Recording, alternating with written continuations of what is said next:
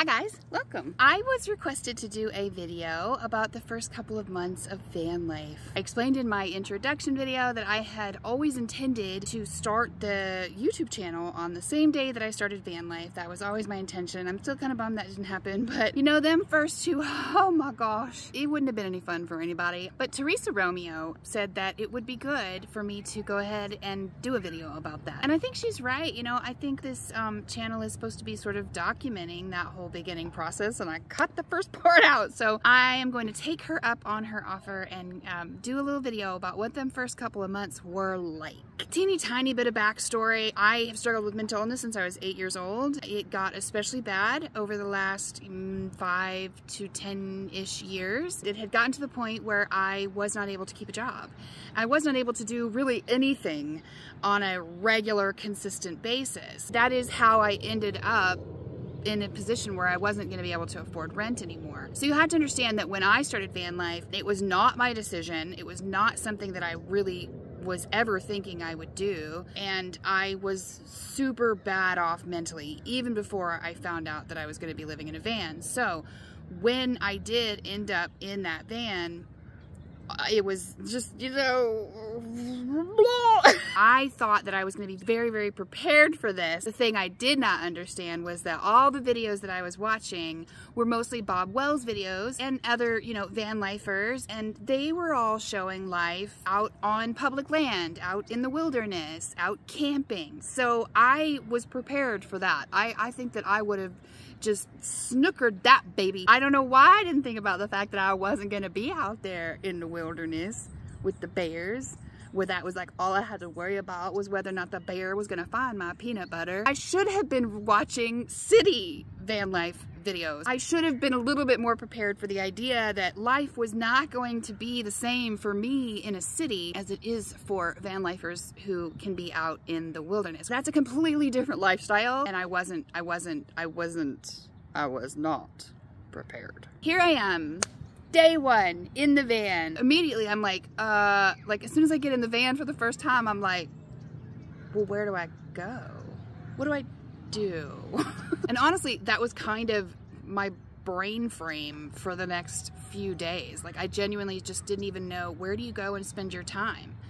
Where do you go to park? I'm not on BLM land, so I can't just like set up a little campsite and look at the mountains like I did when I was in Quartzsite. Oh my goodness, I miss you Quartzsite. Anyway, another story. I just had like, um, I had an ice cooler and then I had just a mattress on the ground and me and my van. And uh, I, what do you do with your time? I've got no power. I've got no money. I'm almost positive that that first day, in fact, probably several, several, several of the first days, I would just go to a parking lot, sit in the front seat, and stare out the window for hours and hours. And I just watch people pass and I would just try and think about where do I go from here? First night. I didn't know where to park. I didn't know anything. I was so green and I really thought I was so prepared. I thought I had gone to Bob Wells University and I had graduated with honors. But again, Bob Wells University is for people who can be out in the wild. And I should have gone to City Living University. City Living Homelessness. That's the university I should have gone to. so of course the first night I just choose a Walmart because that's what everybody does. I do what everybody says. You got to get there late, you know, so that you can be clandestine and then you want to leave real early and stuff. I get there like 11 o'clock at night. I get settled in and then suddenly I'm hearing somebody karaokeing Mother Tucker had set up a karaoke machine in the parking lot 11 o'clock at night and was singing and preaching and loud as can be and people are praising. Any other time it would have been, I would have loved it. I'd have gone, I'd have been jamming with them, but I just wanted to go to sleep. I was tired. I had had a busy day looking at people in the parking lot all day. It was my first night in a parking lot. I was tired and I just wanted the blissful release of sleep. And instead I got, Hello everybody, I'm here to tell you about the Lord. Hallelujah, praise you. And it was just um, loud and it was. And I laid there unable to sleep for many, many hours because he was there for a really long time. In fact, I finally fell asleep before he even left. I don't know what time he left. And you know, God bless his soul. I hope he's having a, a wonderful, amazing day. But it was just kind of a weird a weird introduction to my first night in a parking lot and I just wanted to sleep man I just God, please, can you let me sleep? but God had other plans that day. It's all right. It's all right. Who am I to tell God what to do? It ended up being, um, you know, a fine night. Other than that, I was only on one mattress at the time because uh, I, I thought that four inches would be enough for me. No dirty jokes, y'all. Four inches was not enough for me. I was sinking to the ground. It was very uncomfortable. And then there was the whole trying to get up onto the toilet because the mattress is on the floor you can't stand up, trying to get up from the ground, up onto the toilet without any leg strength whatsoever. I was so, so out of shape, and I'm still out of shape, but I was so, so out of shape at that time. So like even just trying to pick myself up with my hands to get up on, it was not fun. I did not master it. I was actually not a graduate. I had failed the course.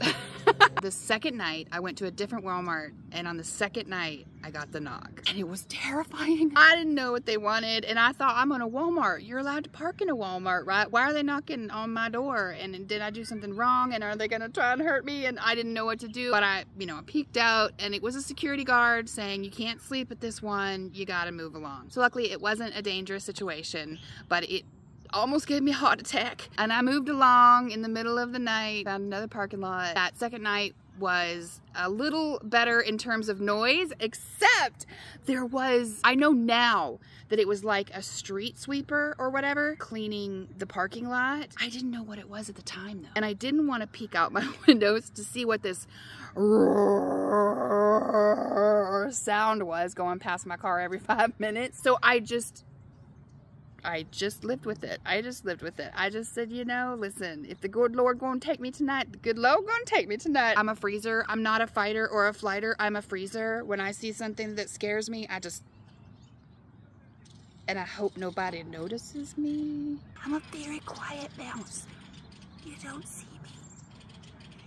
So I just froze in my van. Luckily, it was just a street sweeper. I think it was probably the third or the fourth day that I remembered parks exist. Hallelujah. So I started going to parks and I'm pretty sure that it was right around that time that I also received the solar stuff that I got. So I would put my solar panels out and I would spend the day at the park. And I would spend a lot of time standing up because I, would actually just spend a lot of time standing in the door of my van, looking into my van, like, you know, with my hand up on the van like this, just trying to figure out what am I gonna do with this bitch? How am I gonna make this thing into a home? So lots and lots of standing, which tired my legs out because they were super not used to that business. So I believe it was probably the third or fourth night, I went to go get into the van and my leg just would not, it just would not give me the strength that I needed to oomph myself up into there. And I fell and I crashed and I thought for sure I had broken my shin bone. I still cannot believe I did not break my shin bone, but it hurt like I did break my shin bone. So that adds like this whole new layer of pain to everything I have to do for the next few days. So I'm still sleeping on this stupid mattress on the ground. I'm still trying to get up onto the toilet in the middle of the night. Now I'm doing it with an almost broken shin and I was not well because on top of all of this happening, I am super mourning my old life. I am in just devastating grief because I miss the convenience and comfort of my home. I miss my daughter. I miss so much my old life. So much more than I even thought I would. It was just this massive grieving process that I was not prepared for on top of all of the physicality of it, on top of just the, the, the newness of it, the scariness of it, the feeling like a failure at it already.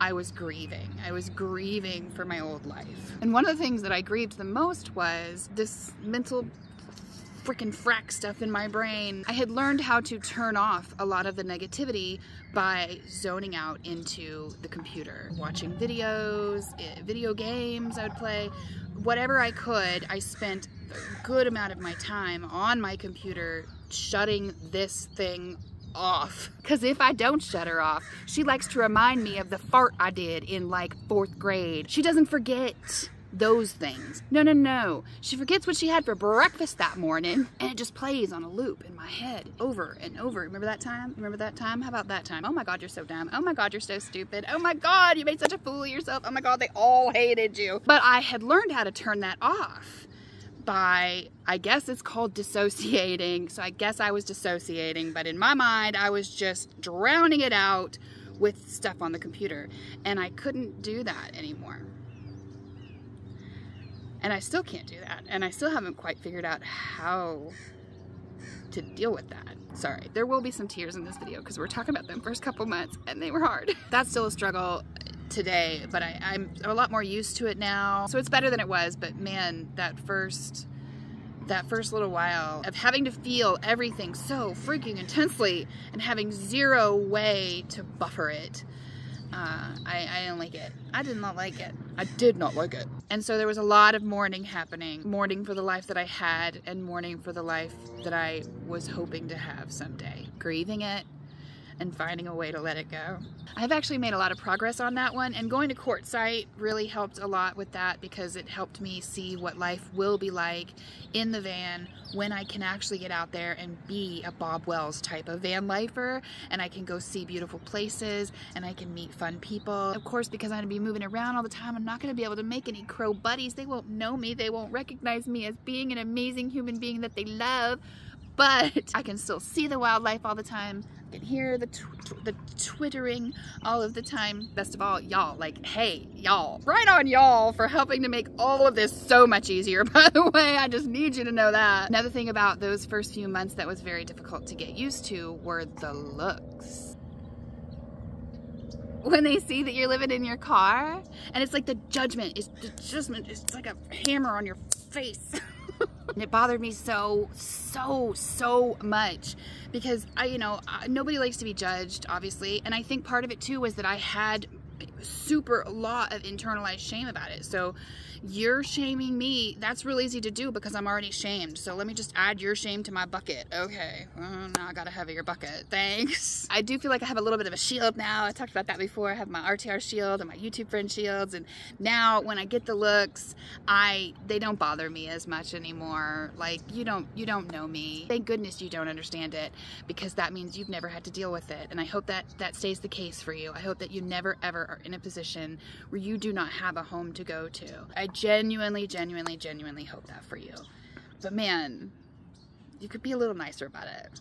That's all I'm gonna say. I did try in those first two months to find, because the weather hadn't gotten super bad yet. And so I would try and go out and find like temporary camp camping spots, like BLM type land spots. But I wouldn't, I didn't want to, you know, I didn't have a lot of money for gas and I didn't want to get too far away from my daughter. So I would try and just find spots that were like within an hour of the Sacramento area. That did not go well for me. I, I was using an app called Gaia GPS, which I still I still stand by Gaia GPS, but I, I guess it's just not infallible.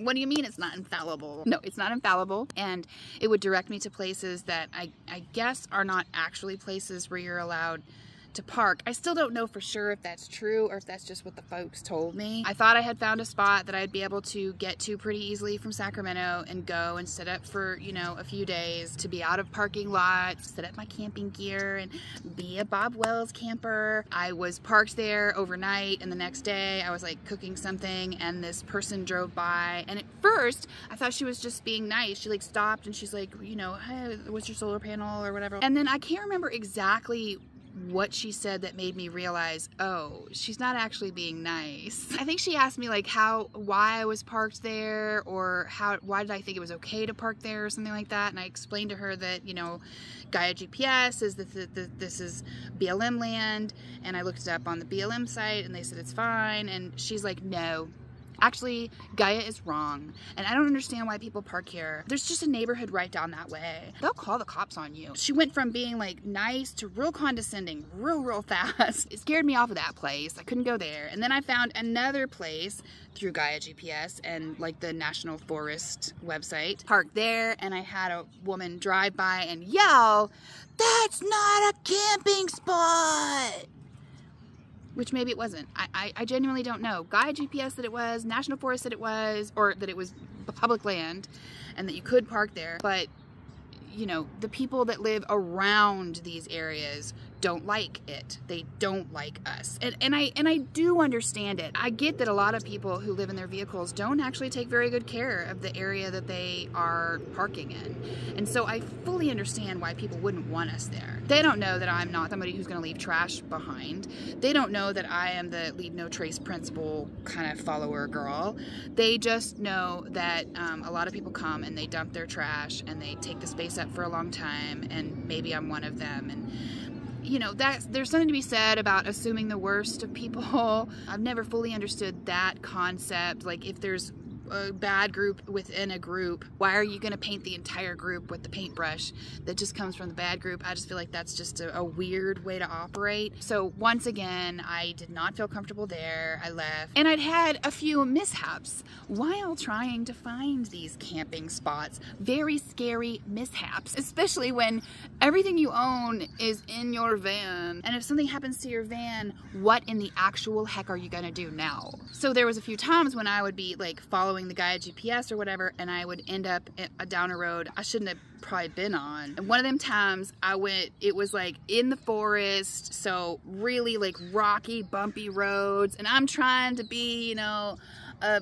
badass. I'm trying to have courage. I'm trying to face my fears. I'm going down these roads. It's a little scary, but if I go slow, it'll be fine. I get to the end or I get to where I should be able to keep going and there's a gate. There's a gate. with the big old no trespassing. Do not come this way. Okay, I'm gonna just turn around, right? Okay. It's muddy. The road is incredibly narrow.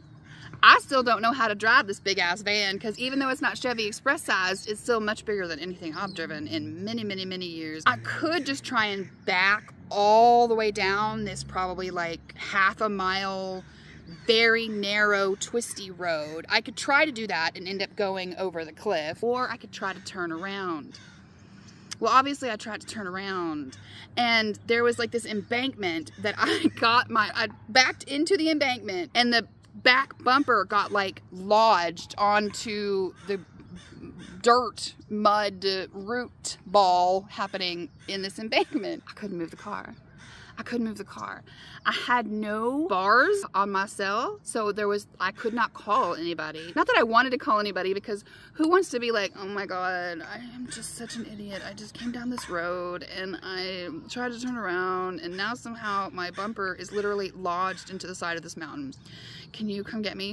and I wasn't even sure like how they would do it because like the, the space was so small but I couldn't call anybody anyway, it doesn't matter. And I didn't know what to do. And then I remembered some of that Bob Wells University did pay off. I remembered that if you, you can dig, try and dig your way out, or you can like put um, something down to give yourself some traction because it was wet, right? It was wet mud. So as I'm trying to like get myself dislodged from this mountain, my wheels are just spinning.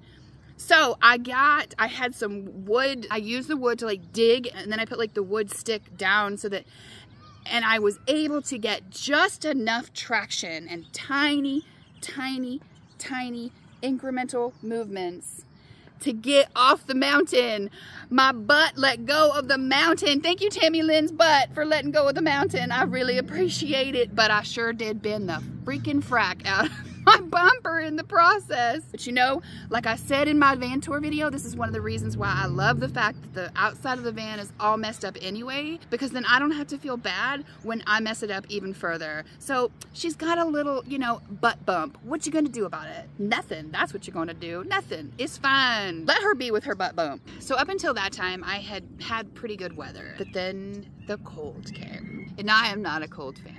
Even under the best of circumstances, I am not a cold fan. Luckily at that point I had already built the bed. And thank goodness I did that before the winter came, the serious winter came, because once the cold came, like it just slows your body down work on the van, shut down. Trying to accomplish anything, shut down. So now I am sad and still in pain from the almost shin breaking, scared of trying to find camping spot, and now I'm cold. And I can't afford a coat. Psst. I ain't got no money for a coat. I got a hoodie and a sweater which since then I've actually lost my sweater, ripped my sweater. That was the best I could do. It, you know, it got me through the worst of the winter, so I am grateful for that. But it wasn't not a fun process. But eventually, the emotion of it all settled down. And it really is kind of crazy, the human being's capability of getting used to just about anything. Learning how to manage and live under just about any kind of circumstance. And I fully understand that my circumstance, while it was hard for me, was not nearly as hard as what a very good amount of people in this world go through. I fully understand how really, really lucky and privileged I am to have the vehicle, to have people that care about me. I did have enough money to eat all month. So I just I want to say that I, I know that even even in my darkest moments when I feel like the world is just nothing but one big razor blade I know that I'm actually really really really lucky. And I knew that the whole time. Sometimes I would begrudgingly admit that to myself but I did know that the whole time. And eventually it, it got easier I built the bed, which made it much easier to get onto the toilet. I found a handful of parking lots that do not kick me out and I feel safe in. I just discovered parks where you can spend your days listening to the twittering of the birds and the kids laughing and kicking softballs and stuff. Wait, you don't probably kick a softball, do you? You know what I mean. Kicking soccer ball, kicking some kind of balls. So yeah, there it is the first two months. I hope that I was able to convey to you what that was like um, without actually having the video camera there recording it all. And I hope I get to see y'all again. Thank you very much for coming and I will see you shortly. Bye.